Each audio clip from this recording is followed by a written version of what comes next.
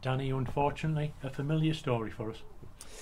Yeah, look, um, on sort of first reflection of the performance, I think the first half was was good. We were you know, really competitive. We were on the front foot. We were aggressive.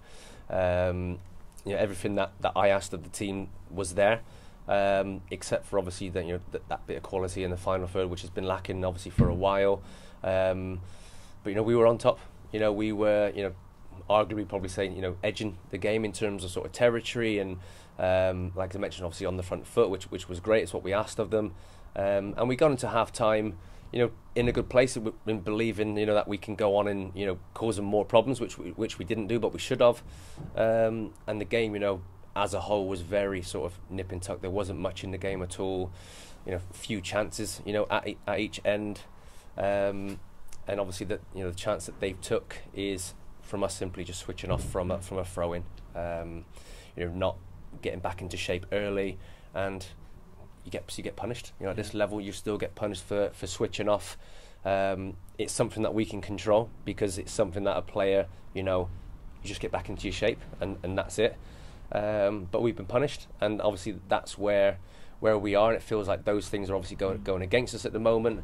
So you got to try your best to eliminate, you know, opportunities where that happens. So you, you can't argue with a linesman if a decision go doesn't go your way, or, or a referee, or you know, or even with a teammate. You got to get back into your shape, nice and solid, and then deal with the ball when it comes in. And you know, we were a little bit disjointed when they took the, the, the mm. throw in, which obviously led to led to them scoring. Yeah. Ironically, we had more shots on target than them in the game. Well, uh, we so we, we create. We I wouldn't say we created any clear cut chances. Mm. Uh, we didn't do that enough. We created some opportunities, um, which yeah, we, you know, Cam's held his hand up. He's had three shots in, in decent areas of the pitch, which he should do better with. Um, keepers, you know, not really been tested in, in those moments, um, and we've got to we've got to areas that we wanted to um, a lot in terms of you know in the final third in, in wide areas, and then we're just looking for deliveries in the box. Um, and, you know when we did get to them areas, the deliveries either you know were straight to the keeper, maybe they went out of play, and that was frustrating because you know we worked hard to get to those areas, and obviously you, d- you don't want to be wasteful when you do get there. Credit to the lads though; they kept on going right to the end, didn't they? Trying to get that equaliser.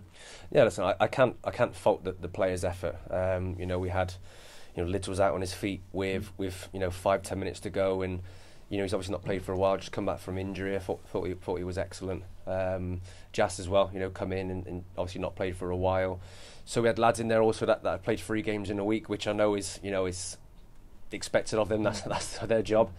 Um, but the effort, you know, I can't fault the effort. I say the game was was nip and tuck. There was nothing in the game in, in terms of um, you know, chances at each end, clear cut chances. You know, I spoke to the players and I was like, the difference was we switched off. Mm. We switched off from uh, from the ball going out of play, and we got punished. And you know, at this level, like I mentioned before, you, will get punished at this level for that.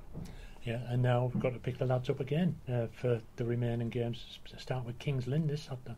Well, again, it's, it's another huge game for us. Obviously, a team that's um, in and around us. Um, I said to the players, um, that's what I said to them on Thursday as well, in terms of together is the only way uh, that you can get yourselves out of these situations. And it's obviously hard work, being the hardest working team, um, and that's the only way we can do do that moving forward. Um, you know, we've got nothing out of the, the last week, um, which has been obviously bitterly disappointing. Um, so we need to look after the lads sort of physically and just make sure that they're best prepared as possible going into the game uh, this time next week it's frustrating as well, isn't it? Because we've had the opportunities to win because all the clubs, virtually three, four clubs above us, have been losing as well. For example, Rushall Olympic, we still kind of get get, mm. get close to them, and they're still eight points ahead of us. Well, it just shows you where where the league is in terms mm. of teams obviously not picking up points, mm. um, and if you do, obviously go on some type of a run uh, and get gain some momentum, then you know you'll quickly find yourself sort of maybe out of the position that you're in, or certainly in and amongst it and that's just what we have to do. Um, I know we've obviously lost the game, and it's difficult to to take positives from the game. Um, I completely understand that. Um, there are positives from the game. Um, I say the lads were were really competitive and, and aggressive and, and, on the front foot for, for periods of the game. Of course, that has to be sustained for, for 90 minutes, absolutely.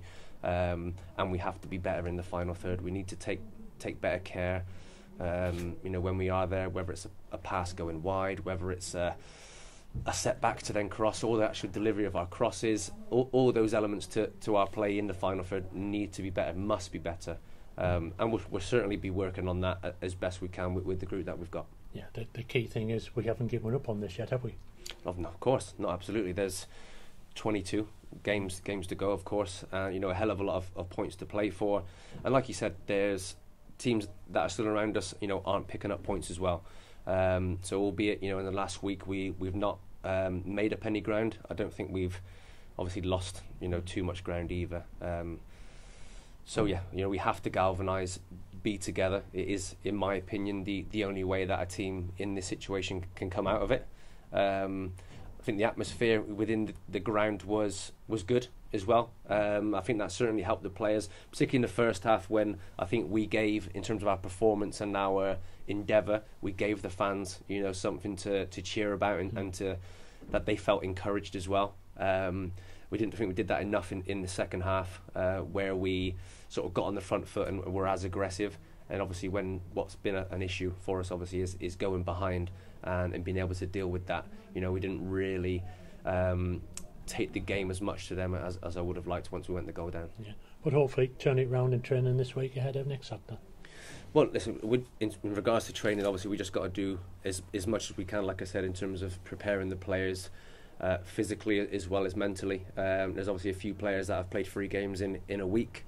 Uh, you know, a, a, big effort. So we need to make sure that, that those guys are, are right.